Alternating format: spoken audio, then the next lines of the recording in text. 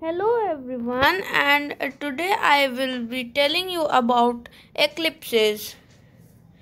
We all know that Earth and Moon are made up of rocks that are opaque objects.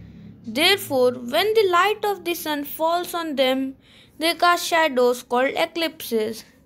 Eclipses are of two types solar eclipse and lunar eclipse.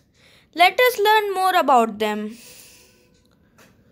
of earth and sun. The moon block all or some light of the sun.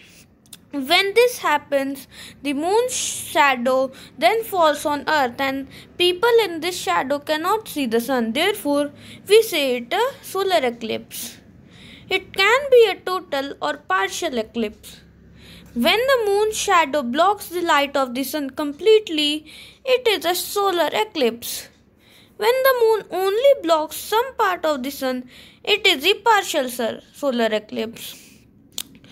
Lunar eclipse. Just as moon sometimes casts just as the moon sometimes casts its shadow on the earth, the earth also casts its shadow on the moon.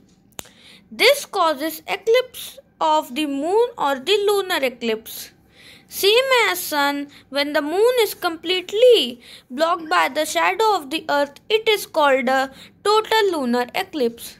When the moon is partially hidden by the earth, it's a partial lunar eclipse.